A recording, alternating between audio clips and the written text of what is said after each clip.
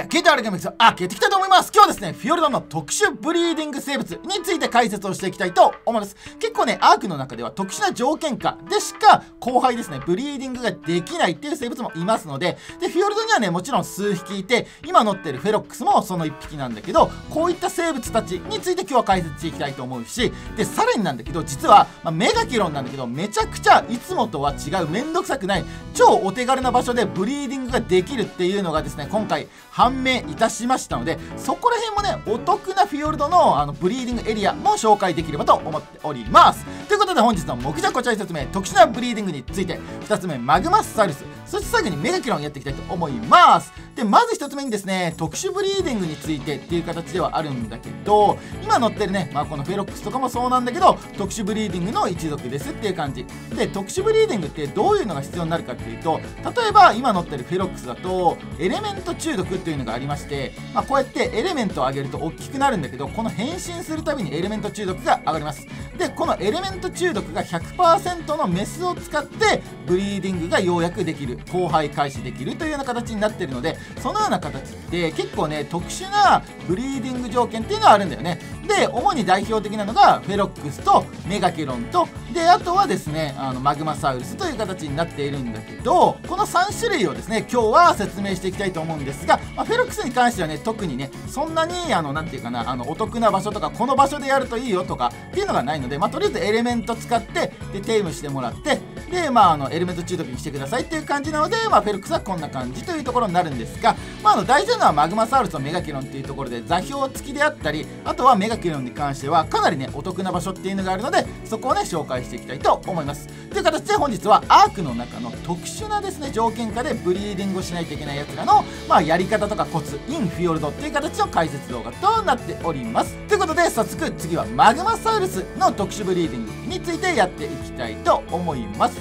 でマグマサウルスに関してはですねどういったブリーディング条件があるかというと通常のですね状態だとブリーディングがまあできないんですねとりあえず、まあ、特殊ブリーディングのやつなので。でどのような形の条件かというとそうなんです。マグマサウルスだけあってマグマなんですね。はい。という形で実際にマグマサウルス出してみましょう。はいマグマサウルスになっております。でオスメスね。2体を用意してっていう感じになるんだけどで、まあ、例えばねこの状態で、えー、修正から後輩モードオンにしようとしてもあ後輩モード自体が出ないって感じかな？っていうところになるんだよねマグマサウルス。でさらにここのマグマに入ることによってこの後輩モードっていうのが多分出てくると思うんだけどここに後輩可能っていうものが出てきましたね。なので後輩可能にすらあのならないみたいな地上だとボタンが出ないみたいな感じなんですね。でさらにこのあのオスのマグマサウルスに関しては別にあの場所は関係ないのでここで近づかせて交配していくというような形になりますね。なのでそういった形で、えー、マグマサウルスは交配しますっていう感じですね。基本的には、えー、マグマの中にメスを入れて交配を開始しないといけないって感じ。オスは別にどこでもいいって感じですね。なのでそのような扱いが必要になるというところになってます。で一応ね僕のおすすめとしてはですねトライブメンバーのマッシュクも住んでるんだけど火山のねここの辺りが一番いいと思ってるんだよね。とりあえず座標で言うと89.180.8っていう形になるんだけど、まあ、バルヘイムっていうところになるんだよね。でまあ一応毎回ねテレポートでやっているのでフィヨルドはね。なのでテレポートの場所もね合わせて紹介していきたいと思います。でテレポートはね火山に関してはですねバルヘイムというところになります。ここが基本的に全域になるので火山のねでさらに、え場所は SE という形になっておりますので SE の火山に飛んでいきましょう。はいということで飛んでまいりました。でこのテレポートの場所に飛ぶとねあの目の前がワイバーの巣になるのでちょっと危険なんだけど、まあ、とりあえずねあの海を背にしてワイバーの巣をさらに越えて山の上の方に向かっていきます。そうすると溶岩だまりがあるのであさっきのマグマサウルスいたね。っていう感じで、まあ、ここになります。っていうところですね、まあ、なので結構ねあの簡単にテレポートのすぐ場所的には近くになるので、まあ、いい感じにねあのパッと上に登れば来れるんじゃないかなみたいな感じですね、まあ、もう一回ねちょっと代表見とくと89.080.6っていう感じなのでまあ近くにあるっていうところではありますね。であ卵産んでるね。もうこれこれ多分受精卵でしょ。っていう感じで、えー、受精卵を産んでいるという形になりますのでこのような形であのマグマをねあの使って卵を産んでもらうというような形になっております。でちなみになんだけどあの後輩には溶岩が必要とか出てますけどこれ1回卵を産むとですね、まあ、要するにあのクールタイム入ってるのでっていう感じになってますので、まあ、あのちょっとどかしてあげて移動させてであのなんていうか判定を再読み込みさせると、まあ、後輩可能みたいな感じになるのででそうすると後輩の準備時間が出たりするのでっていう感じになってますのでちょっとねそこら辺はね分かりづらいんだけどあれマグマ使ってるのにみたいな感じになるんだけど1回卵を産むとなんかですねなんかまあ分かんないんだけど読み込み切ったらかな。まあとりあえずなんかさっきみたいにあの溶岩が必要ですみたいなブリーディングにはっていう感じで出るので、まあ、その時はねちょっとね位置をずらしてあげると再読み込みみたいな感じになるのでで地上だともちろんね後輩は溶岩が必要みたいな感じで真ん中出てると思うんだけど赤い文字でねっていう感じになってますのでまあそこだけご注意くださいっていう感じですね。っていうようなやり方をしてマグマはやりますので、まあ、マグマサウルスここが便利なんじゃないかなと思いますね、まあ、基本的にはここね、まあ、ある程度生物はまあそんなにいなかったりするんだけど、まあ、上の段でも別に全然いいしね、まあ、こっちの段でもいいしっていうところになるんだけど、まあ、そこら辺は場所は自由に使っていただいてここら辺の、ま座標がある程度高いところがいいんじゃねえかなっていう感じではありますね。特にここはちょっと広いので建築できたりしますのでそこら辺含めねまあいろいろ使ってもらえればいいんじゃないかなみたいな感じにはなってますので、まあ、そういったところでこのマグマだまりはマグマサウルスのブリーディングの場所としてかなりね最適になるんじゃないかなみたいな感じにはなってますね。ということでね、まあ、こういった形で環境に依存してある一定の環境下でしかブリーディング交配可能ができないというような生物もおりますので、まあ、このようにやっていくという形ですね。でまあ一応マグマサウルスだとここの場所が俺的にはいいんじゃないかなみたいな感じですね、まあ、とりあえず火山のどっかの溶岩に行けばいいんだけど、まあ、溶岩に使ってることが条件なので、まあ、ただねちょっとね下のね座標に関して下っていうかその何て言うかな。高さが下の座標に関しては結構ギガとかも出たりするのであんまりね座標が低いところはおすすめしないので、まあ、高いとこが俺的にはいいかなって感じですね。ギガとかマグマとか結構出るので、まあ、上はね比較的、まあ、比較的だけどね安全だしこっち側はねあのなんていうかな崖側はまああの一応湧き潰しみたいなのとか恐竜ゲットとか置けばある程度安全になるし、まあ、柱置いとけばある程度湧き潰しにはなってでさらに言うとまあカマキリぐらいとかなんかそんなねギガとか出ないのでギガはね下に出るのでおそらくね。なので多分大丈夫なんじゃないかなみたいな。あとはね一応ねここのマグマに関しては入るとあの普通の生物ダメージ受けるので多分こいつダメージああ受けたね。ああカマキリ秒で死んだね。っていう感じになりますので一応なんかねここが何て言うかなあの倒せるというかなんというかまあ防衛ラインみたいな感じになるのでこのマグマがねっていう感じになっておりますのでまあ一応そんなにねこの後ろ側だけ守れば結構ね安全かなというところで、まあ、全然ねあの標高が低い下の方よりかは高い方がいいんじゃないかなと思いますね。マグマ使うんだったら。っていう形で、まあ、ここのポイントがマグマサウルスのブリーディングには僕的にはおすすめかなって感じ。マジでギガとか出会うと最悪だからねブリーディング中にね。っていう感じになっております。それでは次は海の生物メガケロンについてやっていきたいと思います。まあ、メガケロンはこれですね、まあ、でっかいカメっていう感じになっておりますね。でこいつなんだけどこいつもねちょっとまた特殊でブリーディングできる場所っていうのが深海しかないんだよね。なので通常の陸上だと、まあ、さっきのマグマサウルスみたいに後輩可能っていうか後輩の選択肢すら深海じゃないと出ないみたいな感じになるんですよ。なので結構ねバシロがダメージ食らうぐらいのまあまあな深海じゃないとメガケロンっていうのはブリーディングすらできないっていうような形になっておりますので、まあ、マグマだとね飛んできてサクッとねここの角に来ればいいんだけど、まあ、結構深海はねモサとかイカとかいてガチでだるいからちょっとめんどくさいよねっていうところがあるんだけどなんと今回は実はですねフィヨルドめちゃくちゃいい特徴があって別ディメンションでブリーディングができるんですね。まどういうことかというと、まあ、とりあえずね一回ね別ディメンションに行ってみたいと思うんだけど今回はバナヘイムの、まあ、適当な場所に行きたいと思うんだけどバナヘイムでの解説をやっていきたいと思います。マジでねこの別ディメンションワープでしか行けないフィヨルド限定の3つのアースガルドヨトゥンヘイムバナヘイムに関しては面白い特徴があったのでそれも合わせてねちょっと解説できればと思っております。ということでバナヘイムやってまいりました。バナヘイムではね何があるかっていうとてかバナヘイムっていうかまああの別ディメンションになるんだけどこの別ディメンションではねかなりね面白いね現象が見受けられたんだよね、まあ、とりあえずまあ一旦やってみるんだけどメガケロンをこのバナヘイムの池の中にとりあえず入れてでここでブリーディングをさせてみたいと思います。でここはさ、まあ、全然深海じゃないじゃん。あの見るからにっていう感じなのでこんなところ、まあ、浅い池でブリーディングができるんですかという話になるんですが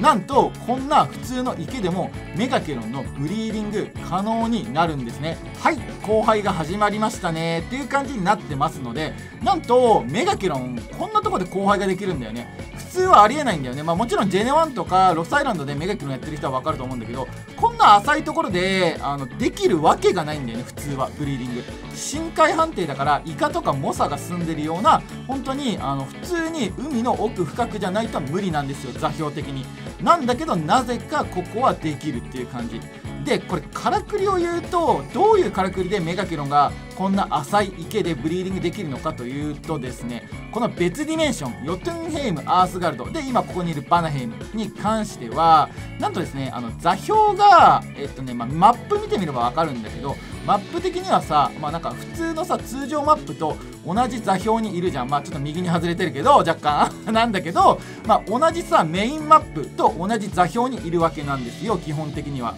でこれどこなんだいっていうところなんだけどこれ多分なんだけど座標的に縦軸が下の方にあるんだよね。メインマップの何というかなあの普通の深海エリアのさらに下にできているのが多分この別ディメンションだと思うんだよね。地面と深海を突き抜けたさらに下の方が別ディメンションの、まあ、場所になっているっていう風に、まあ、多分推測はされるんだよね。なので深海判定になるって感じ。一応メインマップ的に言うと深海と地底のさらにその先っていう感じになってるので本当に地下深く潜ったところにこういったエリアが生成されているっていう形ではあるので、まあ、そんな意味合いで多分判定としては深海の判定になってまあ今ですね、まあ、多分あの卵が生まれたか妊娠したかと思うんですけど卵が生まれたかなっていう感じになって、まあ、メガケロンがですねこのように普通にブリーディングができるという形になっておりますので、まあ、座標の縦軸が通常マップの下にドンと突き抜けてでそこにこのあの特殊マップというか別ディメンションが存在しているというところではあると思うんだけど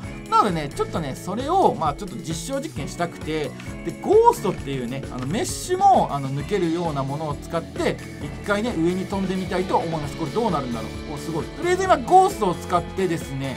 上の方にあのゲームの壁を突き抜けて登っているという感じになります。これどうなるんだろうねこれ。すごいすごいすごいすごいすごいすごい。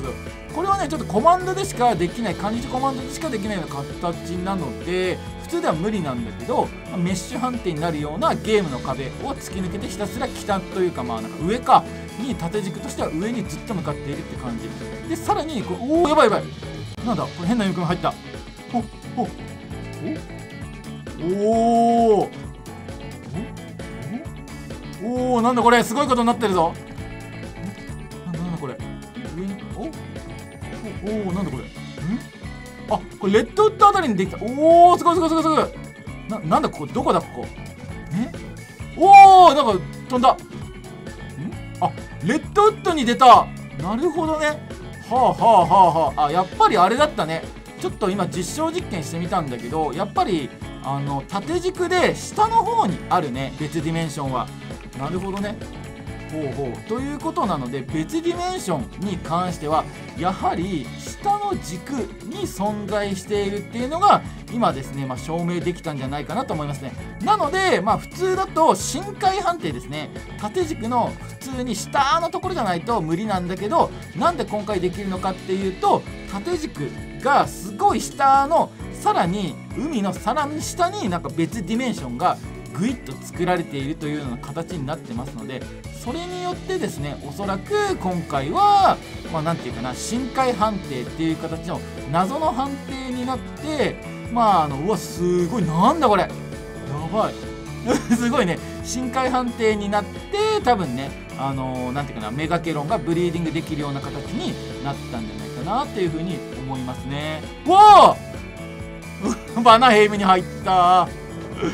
すごい。っていう形になってますね。すごいねこれ。こんな作りになってたんだね。なるほど。まあ最初ねなんかこの話を聞いた時ってことはあの別ディメンションの上には通常マップというかメインマップがあるのかいっていう風に想像してたんですけど今ゴーストでね行き来してみたんですけどやっぱりそのような状況になってるっぽいので多分ですねまあ単純にメガケロンがここでブリーディングできるっていう理由は縦軸がすっごい下の方にあってっていう感じでメインマップの地下深くに別ディメンションは作られているというような形になっておりますね。すごいね初めて知ったわこれ。実証実験してみて。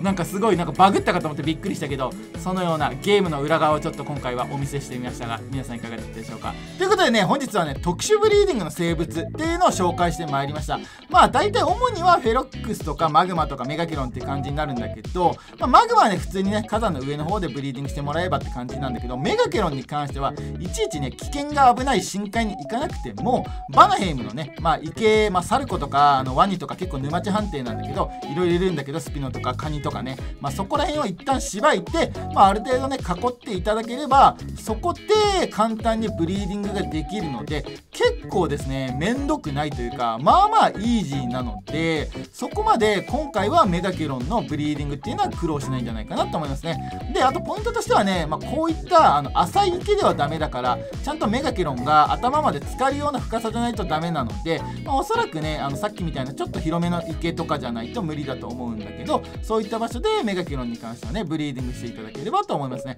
まあ、こんな感じでちゃんとブリーディングするにはあの頭まで使ってくださいね。というところが条件なので、まあ、それだけがまあ注意点かなっていう感じ。あとはまあマグマとかに関しては別にね簡単なので、まあ、あのマグマに突っ込んでおけばいいしであとはあのフェロックスに関しては中毒にすればいいので何回も変身すれば中毒が上がっていくって感じになっておりますのでそのような形でやっていただければと思います。で一応バナヘイムのところに関してはですねまあいろいろ池があるので、まあ、そこ使っていただければという感じなんですが、まあ、深い池は一応まあ最後の最後にまマッピングだけしときますか。GPS だと16.973.2っていうところがね一応潜れる場所になっておりますので、まあ、ここら辺で使っていただければと思っておりますね、まあ、結構ね何箇所かあるので多分3箇所ぐらいあるかなこういったちょっと深めの池は。なのでまあ適当にねあの見て回ればいくらでもあるので使ってくださいっていう感じになっております。ということでですねぜひね皆さんねあの日頃はめんどくさいブリーディングなんですがここだと簡単にできるので、まあ、やってみてはいかがかなといったような動画になっております。ります。それでは本日もご視聴ありがとうございました。また次の動画でお会いしましょう。バイバイ。